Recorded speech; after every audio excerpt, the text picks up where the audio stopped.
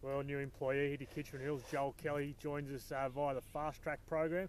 Joel, tell us a little bit about your background, mate. Uh, where'd you grow up? Where you come from? Yep, so I'm a born and bred sort of Tamworth boy. Um, Geez, but good blokes that come out of Tamworth. oh, they all say that. But um, yeah, it's basically my hometown. I love it to bits. Grew up on a bit of uh, hobby farm sort of thing. Mum and dad live on 25 acres, so they ran a couple of head of cattle and always had a few broodmares at the back as well. So that's kind of where I picked up the interest in horses.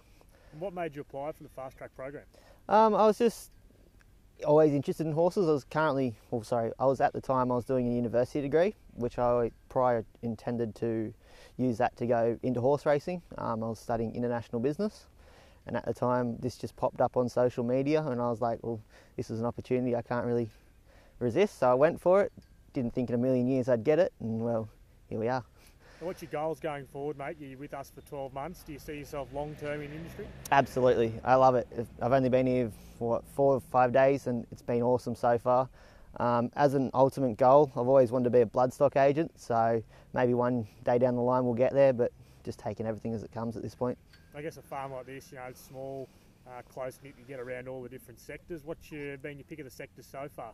So far, I like the weanlings because they're little babies, they're really cute, and obviously you get to see them grow up and whatnot, and obviously ship them off to sales, and you build a relationship. So I think that's an avenue that I'm really interested in at this point in time. Yeah, well, mate, uh, good luck over the next 12 months. You've got massive shoes to fill. Pickles, uh, she, she was our first fast track student, and uh, she's gone on to pretty much run the show here. Yeah, I've heard good things about her, so hopefully I can, you know, get in those footsteps and create my own sort of future.